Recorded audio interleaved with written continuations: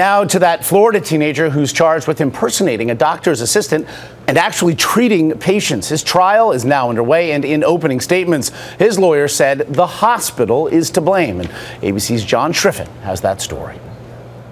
Matt, why did you do this? Depending on who jurors believe, Matthew Scheidt was either a 17 year old overeager teen interested in medicine, other individuals did not believe he was a PA, or he was a skilled con man playing doctor dressed in his scrubs, the stethoscope around the neck, even had the terminology. Come fly with me. Like a scene from the movie Catch Me If You Can. I'm a doctor.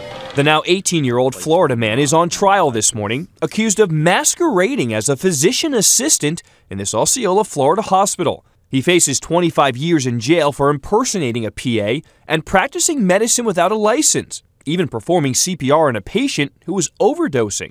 When he was arrested last September, he talked openly to police about what happened. That's when he said, Can you take over CPR?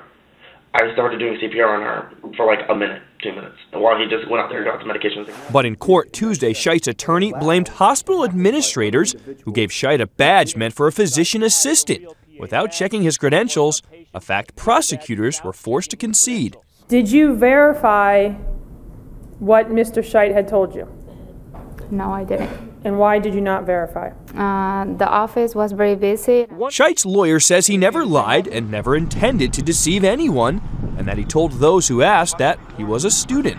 But prosecutors lined up a series of witnesses who said the teen intentionally played the part of a professional. But you specifically saw Mr. Scheidt, Matthew Scheidt, performing chest compressions. Yes.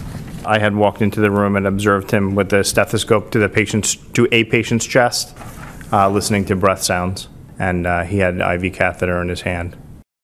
And the prosecution will pick up with their long list of witnesses again today. Interestingly, once this trial wraps up, Scheidt faces other charges for impersonating a police officer, even allegedly pulling over a car. Now, for that offense, Josh, he could face up to an additional 22 years in prison. The levels of life imitating art here, uh, no, no bounds. John Schriffen, thank you for that.